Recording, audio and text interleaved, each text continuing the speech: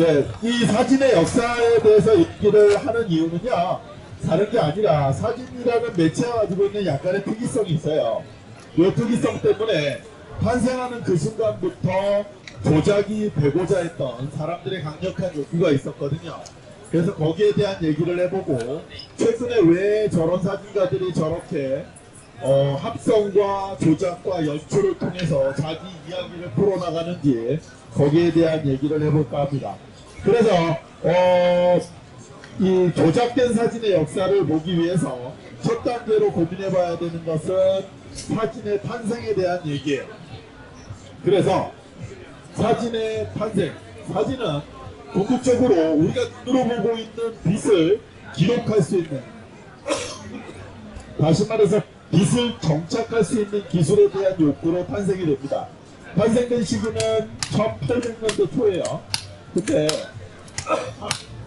재밌게도 모든 사람들이 거기에 대한 욕구가 있었기 때문에 그거를 발명한 사람은 한 두세 명 정도가 있어요.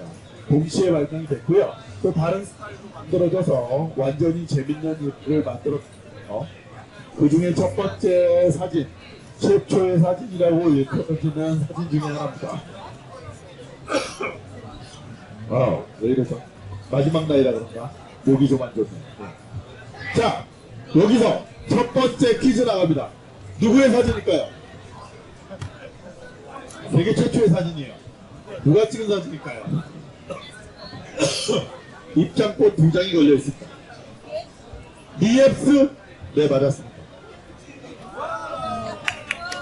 이거 뭐 답지가 유출된 것 같아요. 이렇게 빨리 맞추지 않으셨는데, 처음에. EFC가 만든 처음 찍은 사진이에요. 최초의 사진이고요. 대략 한 3, 4시간 정도 노출을 준 걸로 알려져 있어요. 뭐 공식적으로는 8시간이라는 얘기도 있는데 정확한 수치는 잘 모르겠어요. 왜냐하면 여기 사람이 한 명 서 있는데 이 아저씨가 8시간 동안 저러고 서 있었다는 게 말이 되질 않아. 뭐 그건 잘 모르겠고요. 어쨌거나 풍경 사진이고 그 당시에 도시의 나쁜 경임에도 불구하고 마차나 지나다니는 사람들이 다 없는 것으로 봐서는 분명히 오랜 동안 노출된 건 맞아요. 인간이 기본적으로 빛을 기록하고자 했던 욕구 때문에 처음으로 만들어진 것은 프랑스를 중심으로 하는 비엠스와 다게르가 만든 다게르 타입이라고 불리는 것이에요. 요거는 그 만국 박람회를 통해서 특허라는 형태로 프랑스가 독점을 하고요. 이걸 통해서 DFS와 솔직히 말씀드리면 DFS 돈을 벌었어. 다게르가 다 가져갔어. 어쨌거나 다게르가 엄청나게 돈을 많이 벌었어요. 그럼 이 아저씨는 누굴까요? 다게르겠죠. 네.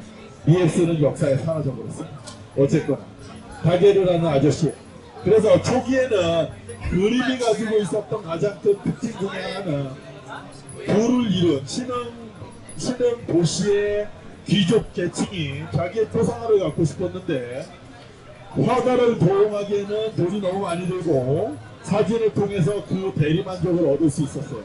뿐만 아니라 그림보다도 훨씬 더 사실감 넘치고 어, 다게르 타입은 보통 어떻게 되냐면요 유리판이 있으면 유리판 뒷면에 은을 입혀가지고 만드는 거예요. 그러다 보니까 대단히 반짝반짝거리는 금속 광택이 나고요. 그게 잘 안 보여서 그 뒤에다가 금속판을 하나 내거나 혹은 아예 금속판에다 만들기도 했어요. 보통은 유리판을 많이 썼고요. 유리판을 썼기 때문에 깨질 위험이 있어서 이런 식으로 많이 만들었어요. 유리판을 만들고요. 뒤에 그 금속판이나 패널을 대고 그다음에 뒤에 보호하는 나무판을 대고 나무 윈도우를 대는데 금박으로 예쁘게 만든 다음에 뭐 벽난로 위나 이런 데 이렇게 올려놓는 액자 형태로 올려놓는 형태를 더 많이 취해요. 뿐만 아니라 이렇게 가져다니기도 했어요. 비싼 비단에 솜을 넣어가지고 보호할 수 있게 하고요. 그 유리판을 보호할 수 있게 이렇게 덮으면 떨어져도 깨지지 않게 이렇게 만들어서 사용하기도 했어요. 바로 여기서 사진은 출발을 하고요. 이렇게 개인적인 욕구를 긁어줌으로 인해서 엄청나게 많은 부를 얻게 됩니다. 그 부를 통해서 사진술은 더욱더 발전하게 되고요.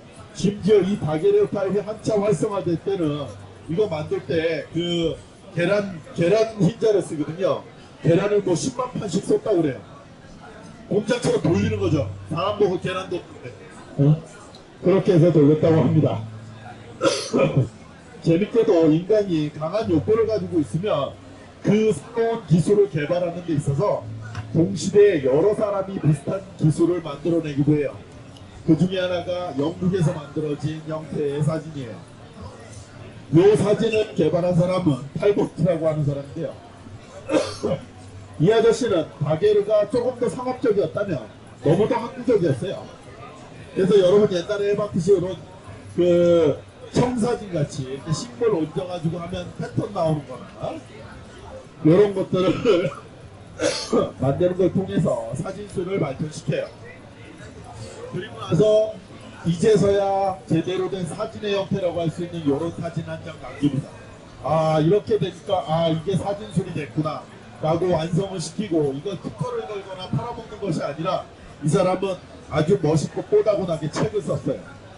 그래서 Pencil of Nature라고 하는 책을 써서 모든 사람들이 이 기술을 공유할 수 있도록 널리 알렸죠. 근데 우리가 가지고 있는 사진의 한계에 대한 부분은 바로 이 사람이 만든 방법을 통해서 깨어지기 시작합니다. 탈버, 탈버트가 만들었던, 리엑스와 탈버트가 만들었던 방법은 유리판에 약품을 칠해서 카메라 안에 넣고 사진을 찍는 방법이에요. 그리고 그것이 곧 필름이자 인화지였어요. 그것이 곧 원판이었어요. 그래서 무슨 일이 생기냐면 내가 가로 세로 A by 10 다시 말해서 8인치 10인치짜리 사진을 얻고 싶으면 A 바이 10 인화 그 필름이 들어갈 수 있는 카메라를 만들어야 됐고요. 그 인화지에 이미지를 뿌릴 수 있는 멋진 렌즈를 달아야 됐어요. 그래서 만약에 내가 그것보다 더 큰 사이즈 뭐 예를 들면 20에 24인치 혹은 그보다 더 큰 사이즈가 필요하면 심지어는 마차 뒤에 수레바퀴에 달려있는 카메라를 만들어 써야만 했어요.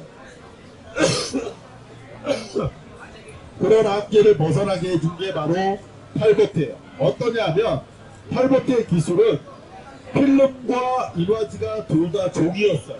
처음에 만들어졌을 때는. 그래서 종이 위에 종이를 놓고 강한 빛을 쏘게 되면 그때 또 감각이 되는 그런 방법이에요. 이걸 뭐라고 부르냐면 네가티브로 필름을 만들고요.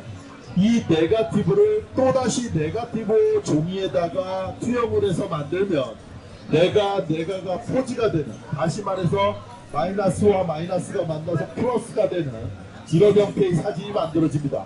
이게 내가 내가 포지 시스템인데요. 이걸 통해서 사진이란 미디어가 가지고 있는 가장 큰 장점 대량 생산이 가능해지게 된 거죠. 필름 하나만 있게 되면 얼마든지 여러 장의 사진을 만들어낼 수 있고요. 그것을 통해서 사진이라는 미디어가 가지고 있었던 한계치를 증폭시킬 수 있어요. 물론 돈은 못 벌겠죠. 다게르가 돈을 벌었던 이유는 사진관을 찾아서 계속 원판만 팔아먹으니까 한 장 더 필요하면 또 돈 주고 가서 찍어야 됐고 또 돈 주고 가서 찍어야 됐는데 이제는 필름 하나만 있으면 계속 인화진을 만들 수 있는 세상이 된 거예요. 그런 것들을 통해서 사진이 가지고 있었던 한계를 극복하고자 했던 여러 가지 노력이 만들어집니다. 그 노력을 한번 보면요. 첫 번째 시도는 이거예요. 아까 얘기한 대로 다게레오는 판의 사이즈를 키우는 게 힘들었어요. 그런데 팔포트의 방법을 이용하거나 혹은 다게레의 방법도 잘 응용하면 사진을 한 장 찍고 옆에 한 장 찍고 뭐또 옆에 한 장 찍고 또 옆에 한 장 찍어, 찍어서 붙일 수가 있죠. 지금도 많이 쓰는 방법이긴 해요. 어쨌거나 이런 방법을 통해서 사진이 가지고 있는 한계 다시 말해서 지금 그 사이즈에서 벗어나지 못하는 한계를 극복하고자 실험을 하기 시작합니다. 어떤 포토그래퍼가 실수로 필름에 노광을 준 걸 모르고 다시 한번 노광을 줬더니 이상한 이미지가 두 장이 나온다는 것을 확인했어요. 그러면서 아 이런 방법으로도 새로운 이미지를 표현할 수 있겠구나라는 가능성을 보고요. 사진이라는 매체가 가지고 있는 특징은 뭐예요? 보고 있는 걸 그대로 기억할 수 있어요. 빛이 없어, 없고 보지, 볼 수 없는 물건은 기록이 안 되는데 이걸 통하면 실제로 사람 눈으로 보는 거와 다른 이미지가 만들어지거든요. 사진이 가지고 있는 첫 번째 사실이다라는 믿음을 깨뜨리기 충분할 정도의 변형이 오는 거예요. 그래서 이 기술을 적극적으로 활용해서 재밌는 사진들을 만들기 시작해요. 이 작품은 아주 멋있는 제목이 있는데요. 무슨 고뇌하는 가장의 어깨 무게 뭐 이런 이런 아주 서사적인 그런 제목을 가지고 있어요. 그래서 뭐 이런 이미지나 아니면 이런 귀신을 본 것 같은 정말로 그 당시에는 이런 투명한 인간이라는 게 존재할 수 없고 그걸 찍을 수 없다라는 전제였는데 사진이라는 가장 사실적인 매체를 이용해서 이런 형태를 만들므로 인해서 아 이거는 또 새롭구나 라는 것을 지도하게 되는 거죠 자, 요 사진은 더 재밌어요. 이게 보기에는 그냥 한 장 같은데요. 실제로는 18장의 이너지를 가지고, 필름을 가지고, 한 장의 이너지의 사진을 만든 거예요. 다 따로 찍어서, 하나의 일화를 만드는 거예요. 이거는 옛날에 회화와 비슷한 기법이에요. 회화가 어땠어요? 그림을 그려서 빈 캔버스를 채워나가는 거죠. 그거와 마찬가지 구도였고요. 두 번째는 거기에 사용하는 오브제도 비슷해요. 뭐 르네상스 시대에 등장하는 커튼이나 그리스 시대의 기둥이나 그리고 서사적으로 메인 주인공과 왼쪽 편과 오른쪽 막 이런 것들을 매치해서 이야기의 구조를 만드는 거죠. 이 이야기도 반을 나눠서 반은 행복한 삶에 대한 얘기고요.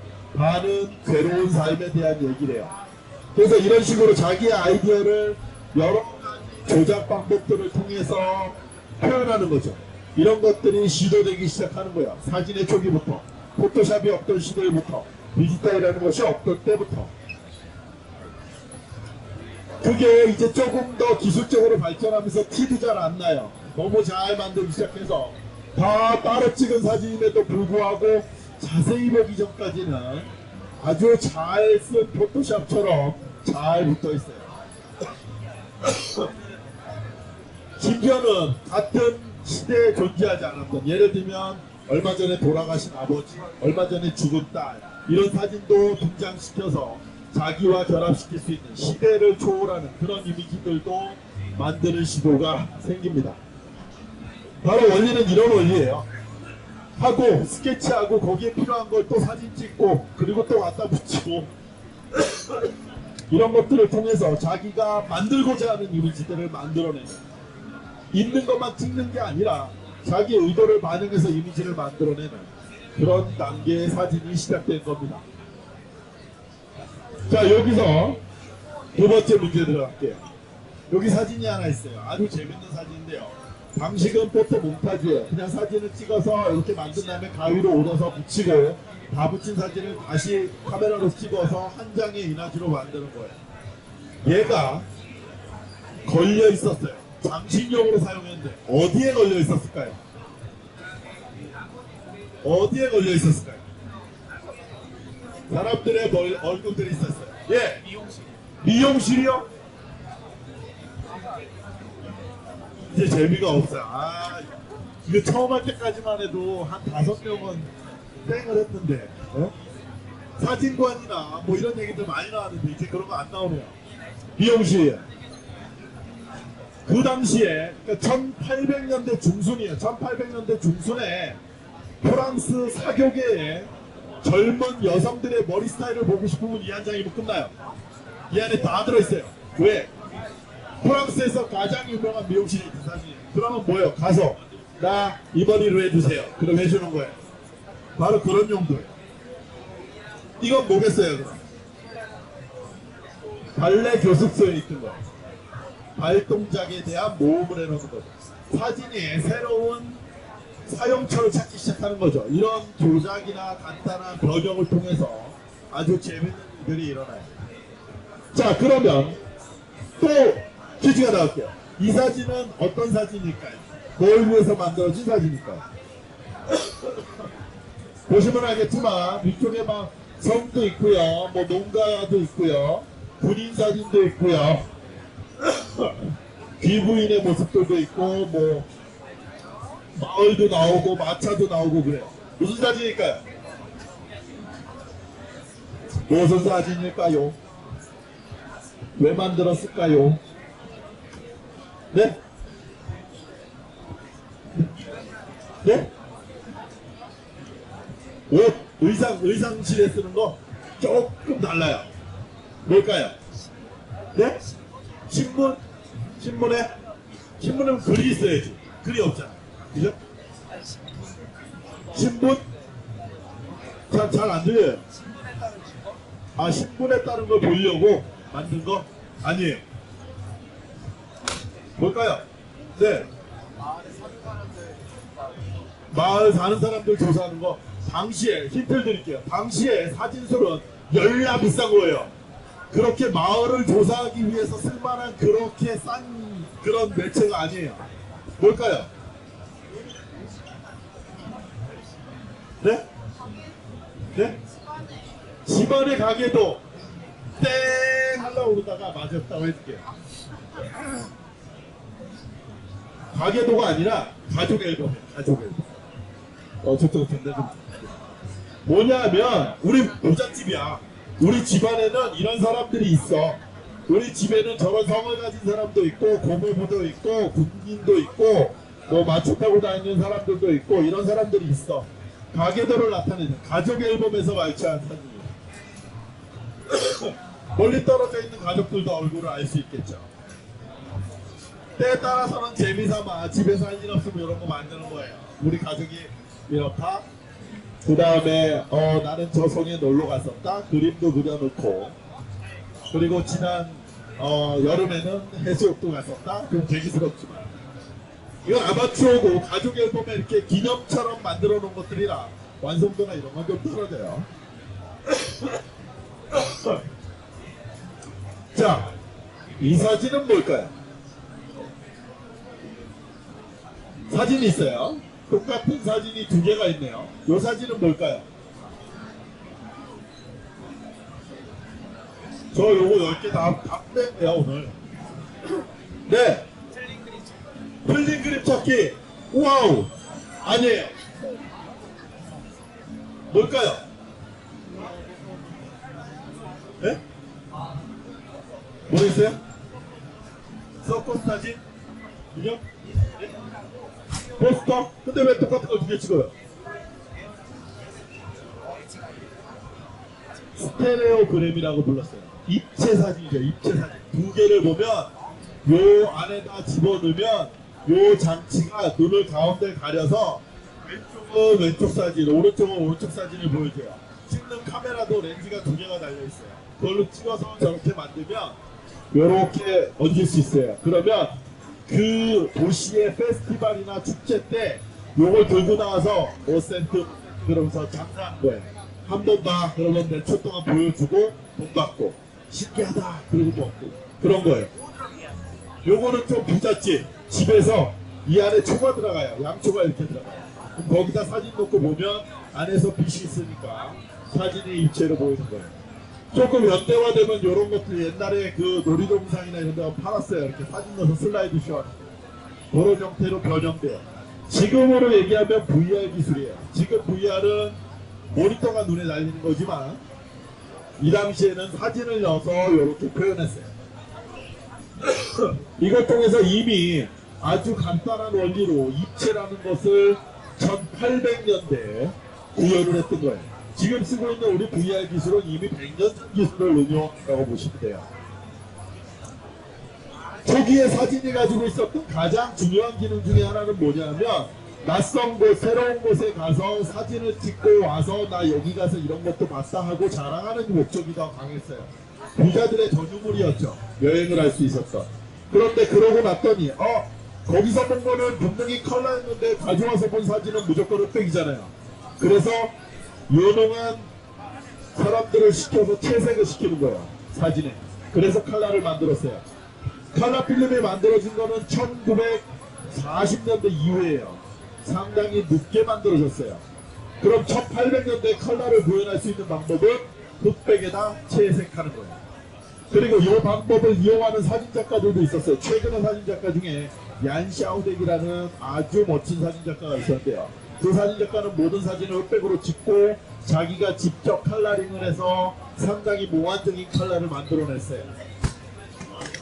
이런 형태로 사진은 초기부터 탄생부터 변형되는 형태로 발전을 해와요. 사람들의 호기심과 사람들의 욕구를 채우기 위해서 사진은 본 것을 그대로 기록하기 위해서 만들어진 미디어지만 결국에는 그것 때문에 사실이 아닌 것을 만들기 위해서 노력하는 방향으로 기술이 발전하게 되죠.